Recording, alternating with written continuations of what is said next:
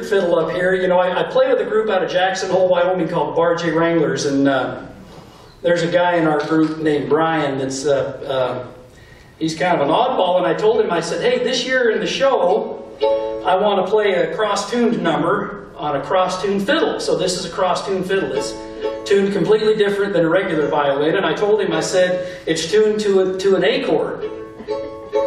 And he said, how do you tune to an acorn? And I said, it's tuned to A chord. And he said, well, which one?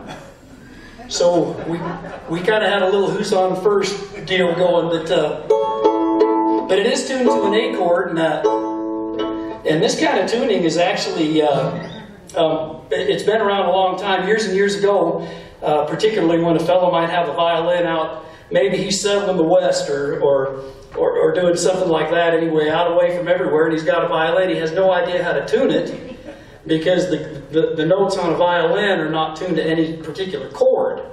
And, but this is, and so I think that's how this kind of tuning was developed. They, they call it Black Mountain tuning, and so I thought it might be a good idea to play the Black Mountain Rag.